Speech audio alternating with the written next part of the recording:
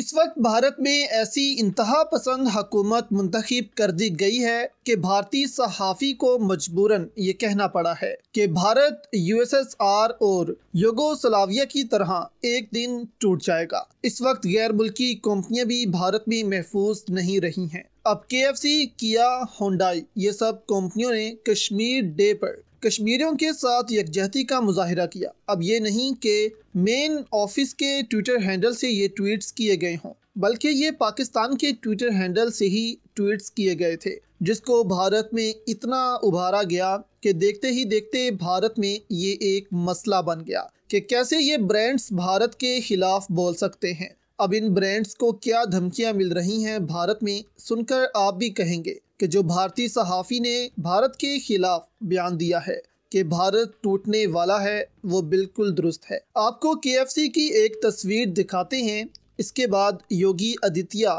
जो कि बीजेपी में सबसे बड़ा इंतहा पसंद है, उसकी भी एक ऑडियो आपको सुनाते हैं, जिसमें ये कह रहा है कि यूपी के लोगों खबरदार। अगर मुझे वोट ना दिया तो यूपी को कश्मीर, बंगाल और केरला बना देंगे। इससे पहले आप ये तस्वीर देखें। इसमें भारतीय हिंदू इंतहा पसंदों ने धमकियाँ लगाकर भारत की फ्रेंचाइजेस में ये पोस्टर्स लगा दिए हैं कि पूरा कश्मीर आज़ाद कश्मीर के साथ साथ भारत का हिस्सा है। अब ये इस तस्वीर में आपको जो नज़र आ रहे हैं के एफ़ सी के एम्प्लॉयज़ इनकी बॉडी लैंग्वेज देखें आप। ये कैसे डरे हुए हैं? जैसे इनको धमकियाँ लगाकर ये तस्वीर लगाई गई है। और कहा गया है कि अगर ना लगाई तो के की ब्रांचेस को पहले तो हिंदू इंतहा पसंद तोड़ेंगे, फिर हमेशा के लिए बंद कर देंगे। तो एक बात तो यहाँ मानने वाली है कि पाकिस्तान ने इनको नानी याद करवा दी है।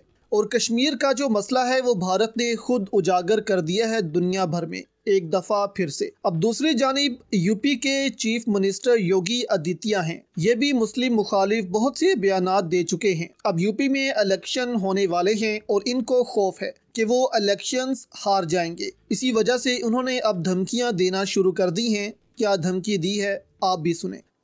और इन चुनावों तक आते आते ध्यान से सब कुछ सुना भी। और मुझे आपसे अपने दिल की एक बात कहनी है। इन पाँच सालों में बहुत कुछ अभूतपूर्व हुआ। सावधान रहिए, आप चूके तो पाँच साल की मेहनत पर पानी फिर जाएगा। और इस बार उत्तर प्रदेश को कश्मीर, बंगाल और केरल बनती देर नहीं लगेगी।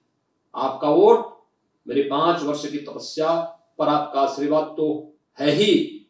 पर यह भी ध्यान रहे कि अब वोट आने वाले वर्षों में आपके भयमुक्त जीवन की गारंटी भी बनेगा। अब यहाँ ये इंतहा पसंद वज़ीर यूपी की आवाम को भी धमकियाँ दे रहा है कि अगर मुझे वोट ना दिए तो यूपी की जो मुस्लिम आवाम है, वो फिर यूपी में माइनॉरिटी की जगह मेजोरिटी में आएँगे और कश्मीर बन जाएगा यूपी। अब ऐसे इलेक्शंस जीते जाते हैं भारत में, जो सिर्फ़ भारत के लिए नहीं, बल्कि इस पूरे खत्े के लिए खतरनाक है।